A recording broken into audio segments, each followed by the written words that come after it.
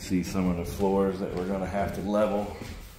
You see how that's like half inch higher.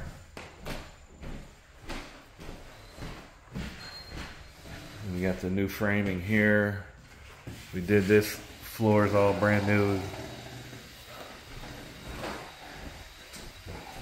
Got that done.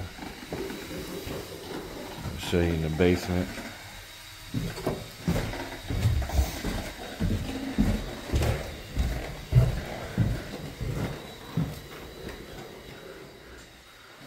So this is the room I was talking about.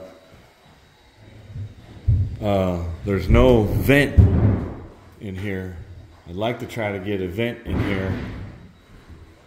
But this is where the mold is. It's on this wood here.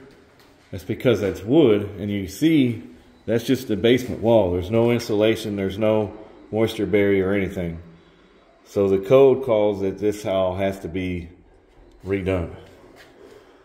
So we're gonna pull all this out, put, uh, we're gonna dry lock the walls and then put the moisture barrier, frame it and put the proper insulation in.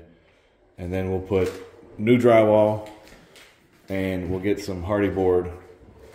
Uh, well, we might just drywall the whole thing actually since we're taking it down. That's probably what we're gonna do, yeah.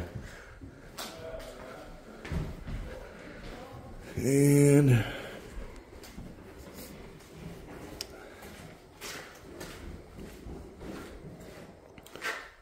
this, we're just gonna cut out the bottom piece and put a new piece up.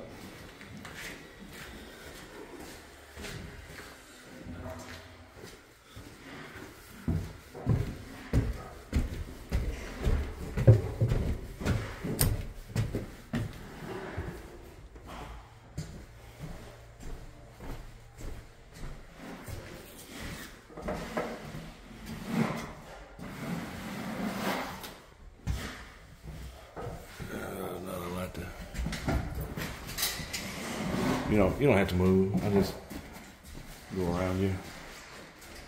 All right, thank you.